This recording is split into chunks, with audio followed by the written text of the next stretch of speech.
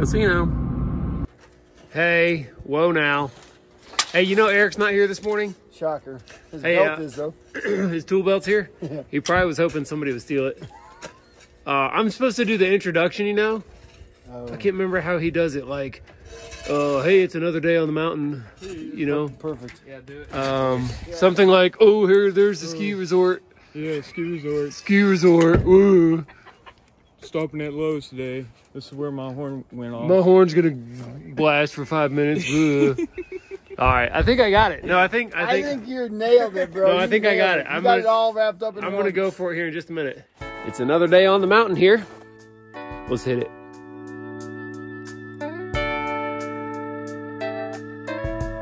Ice sticking out of the hose here. That's not good. I'm starting to put on this counter flashing. I'm going to try to describe the details of this, although I'm sure I'll forget some things. But anyway, I have some necessary tools here. I've got some Lexel in the caulk tube, my drill, and a left and a right pair of snips. And I'm using these ones that have a serrated uh, jaw in them because this metal is really tough. It's steel and the smooth jaws just seem to, it just slips right out. So these really grab and bite and have a really good gear ratio or whatever to cut this thick steel. One of the first things I'm doing is getting this lap joint here where two pieces overlap and since this is so thick and they're made to identical sizes, they don't really overlap that well. They just want to kind of pooch out. So what I did here, and I'm going to try to get close. What I did here is I actually cut the bottom edge off of a piece, including the hem, which, well, it's right there. And I spread open the hem on this other piece a little. You see that little white part there so that it will actually slide in and engage on that little um, piece of the hemmed area. And you can see they fit up nice and tight and that little uh, recessed area makes it happen. That's what it's all about here. So otherwise I would have two hemmed areas uh, folded over each other and that would make a big bulge in the metal, like four layers.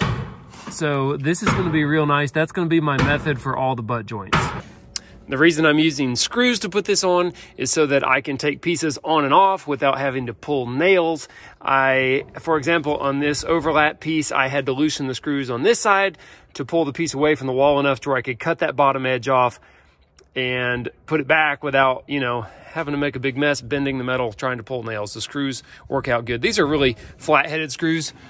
They're actually made for uh, cement board. They're cement backer board screws.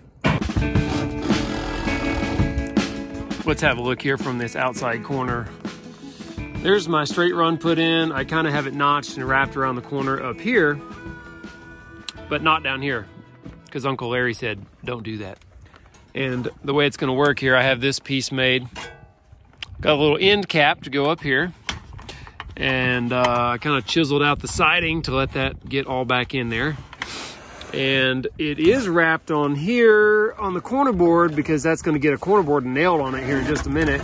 Down here, this is gonna run long and Larry is gonna cut and fold this over later on. So for now, see, we actually need to be able to slide metal in from underneath and slide it up behind this. So that's why this is open-ended and then it'll get folded in, taken care of later. Okay, we're gonna bed that in to the stuff there. Okay, I mean, as far as I can tell, that's it. I mean, I don't know what else to do. You know, you gotta think like water. You know, what what would water, it's like, you know, when you're trying to hunt a squirrel, you have to think like a squirrel. Yeah. What would a squirrel do? Well, I've never hunted a squirrel actually, but.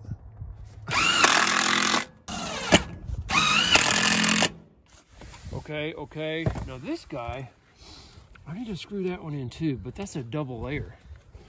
That's a double. I don't know if this can work here. Double. This, uh, Careful, it's gonna be sharp. yeah, nice razor sharp edge there for me to uh, swipe my finger across. But I'll tell you what, I am quite happy with that. Here's a look at the corner here. before we put the corner board on. Now it's good to go. And yeah, I'm gonna zip tape that. Don't worry about it. Corner board is nailed on. You can see I left a gap under the corner board and you can see the bottom of it sealed. And that pin line there is gonna be the bottom of the siding. So we don't want our siding material to touch the top of this flashing because then it could get wet and wick water up into the end of the uh, boards. So it's really critical to leave that gap.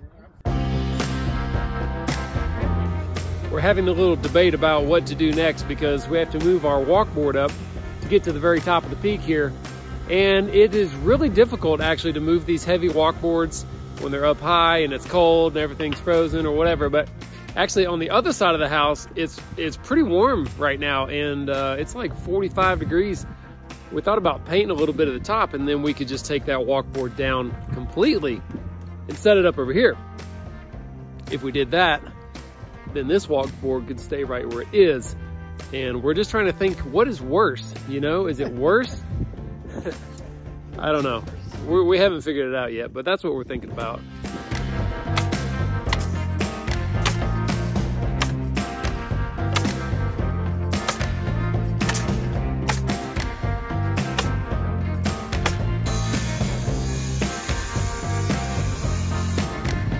There we go, we're topped out, ready for lunch. Well, I say topped out. We're topped out on that walkboard. We got to set up again. This is kind of crazy, but we've had air uh, compressor problems because it keeps tripping the GFI on our temporary power pole. And uh, we have hoses running all over the place. I mean, literally all the way around the house here. And um, I think it's because some of my old power cables have bad cuts and stuff in the insulation on the wiring. I don't know. Can't figure it out. But now Oh yeah, super nice. Tropical almost. So now we're running a hose all the way around. Yeah, I know I could run it the other way, but it was all frozen to the ground. So, and the little baby air compressor is chilling right by the pole, plugged straight in. So hopefully that will alleviate the problem there. You know, the first thing when you get a new bottle of hot sauce, you got to do, they got this restrictor valve on here. See, I don't know what's the deal with that. Get rid of that, okay? It's like a safety. Now you can safety piece. Now you can get some hot sauce because I don't know what it would take you all day. This is only like two servings, I think. Yo, Ray, how's that spaghetti treating you? Good. Uh, it's been sitting in my truck or car since last weekend. Right. because uh, you know we ate Bojangles on Friday instead, so. It's no big deal, right? Nah. I'm here. What did I miss? Everything like always.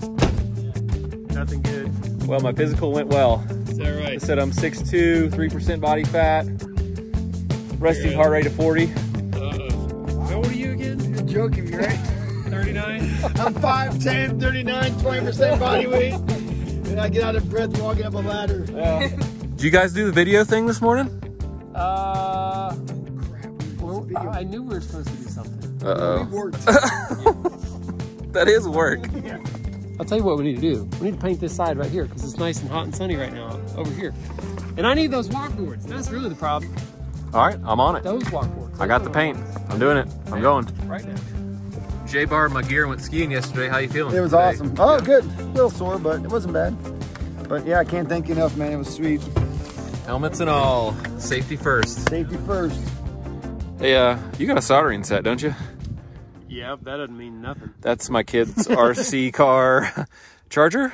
Yep. Uncle Jamie, Yeah, I'll fix it. you're a good uncle. Uncle Jamie. Wow. Oh, yeah. Jamie. yeah. I'll. I'll do it for the kids, all right? Yeah. I'll do it for the kids. At first, he I like, love I'm him. not going to do that crap. Uncle Jamie. Oh, man. Yeah. right.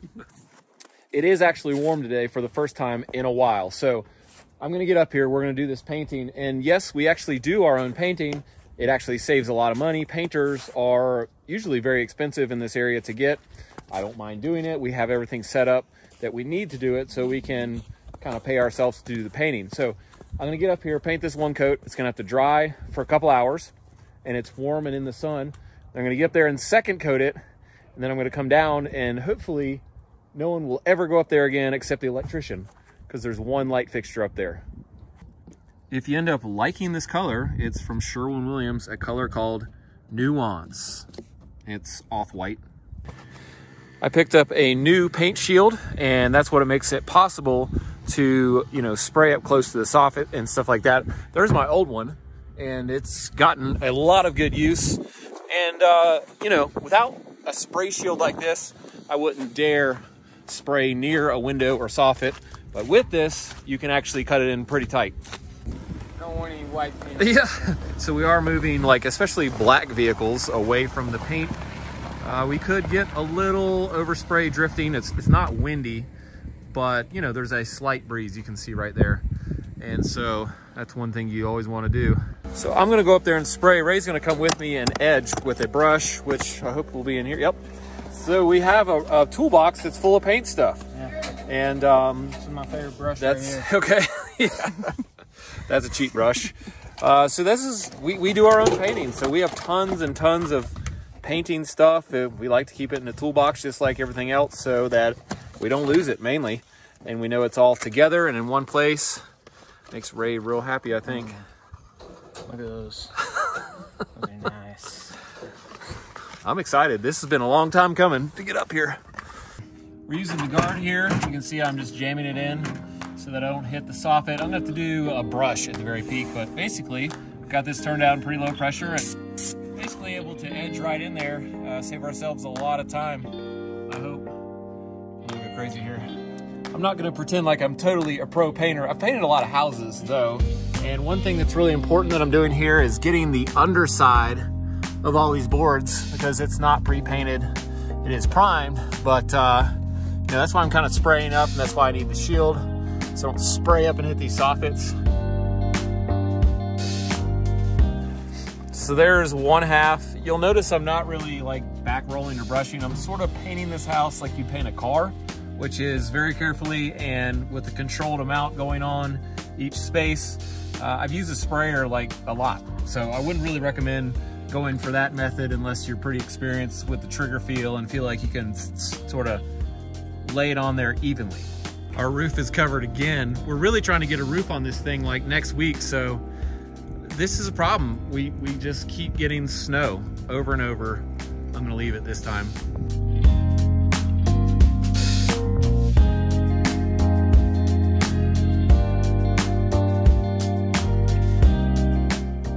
It's starting to look like a farmhouse now that it's got white paint going on. A couple notes here. Ray is, you know, hitting some of the heavy spots with a brush, feathering them out. And what's really allowing us to mostly just spray though is the fact we're using flat paint. Uh, you know, these old farmhouses you see don't look shiny because it's old paint on old wood siding. So we don't want this thing to look like shiny when it's done. So we're using flat paint and white doesn't fade very easily. So we're okay with using white uh, because there's it's already white. It can't really fade anymore. And the second thing is it is wood grain siding, so it's not a smooth surface. So that is also allowing us to just kind of not be as meticulous about the paint coverage being 100% equal everywhere and it's still looking great and covering great.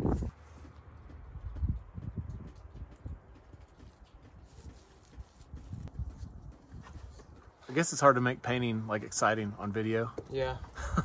but it's I mean, it's a big step you of the process. Most things in life are like that when it's really exciting, you know, and then you go to film and it's like, that wasn't exciting. I'm excited.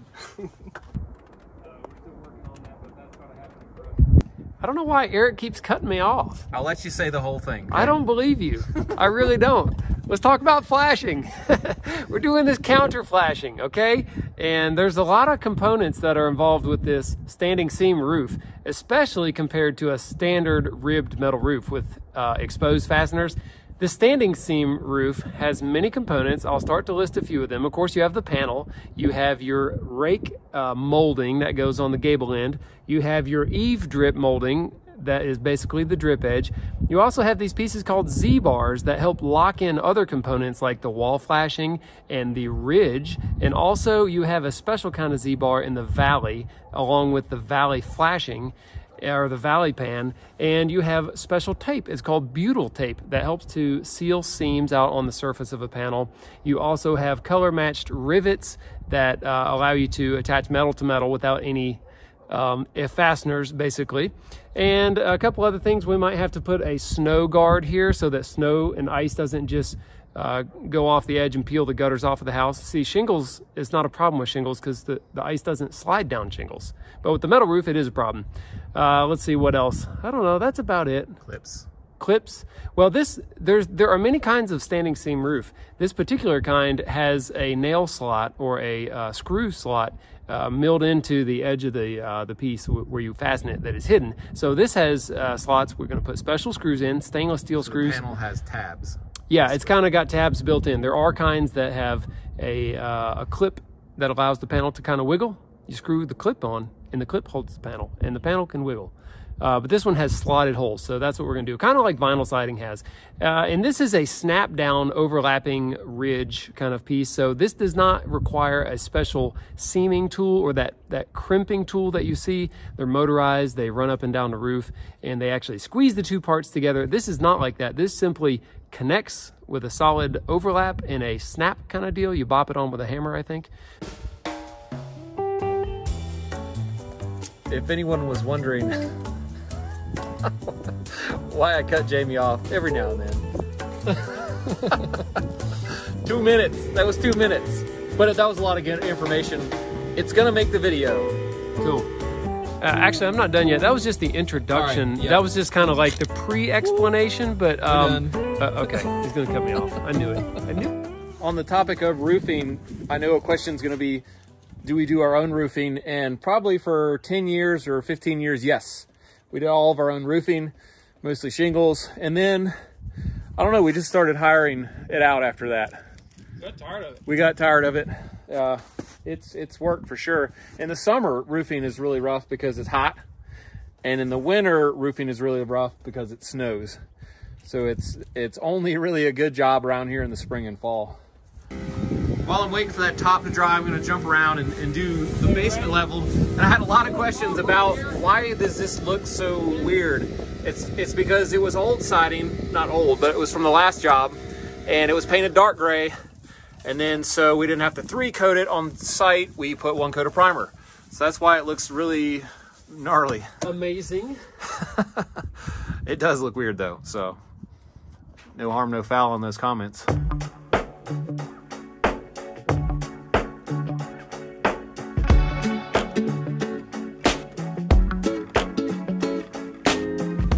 A few more details on the paint. If this were really dark paint, we would have to back roll. White is a really good color for not wanting to flash if you get paint heavier in one spot compared to another. But darker colors tend to flash, like by flash I mean sh look shinier. So that's one good thing that's helping us. And we're gonna do our own cleanup here. So if I get a sprockle, uh, paint sprockle here or there on some glass, I'm the one cleaning it later. And that's why I'm being super careful and super meticulous, even though I'm not masking off most of the stuff while I'm doing it. I've done it a lot of times, even on my own house. I painted my own house one time just like this in about four hours all by myself with one ladder. And so you can really cover a lot of ground. And we're, we're doing two coats here, so just to be clear. Every once in a while when you're using a guard like this, it'll get some heavy buildup. So I'm just taking like another piece of metal that's smooth and sharp and just doing that, you know. To get the buildup off, uh, there's probably a lot of ways you could do that, but that seems to work for me. All right, we got this two coats and uh, now's the real work is getting this walk board down from here. And we're coming up with a plan currently on that.